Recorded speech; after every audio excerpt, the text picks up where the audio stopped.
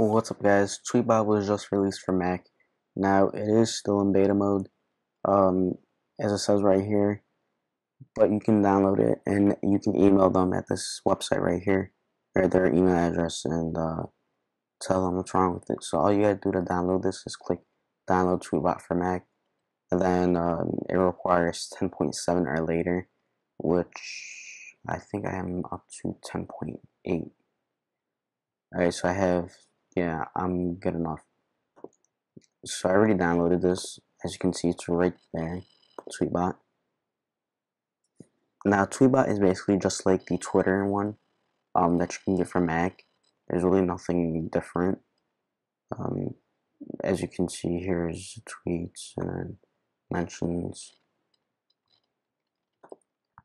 Oh, I wasn't supposed to show you guys that. Um, but here is the favorites. And then I think here when you go to search, um, let's see, what should I search? Let's do YouTube, alright. So what you can do now is basically save this, and then you can go back to search, and now you have YouTube saved in there.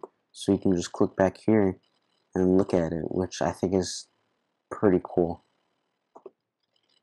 Then here's our my profile.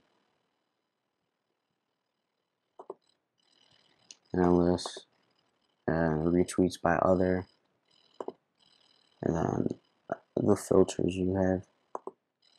Now with this, when you click on links, it opens it up in here instead of it being like just like the Twitter one for the iOS.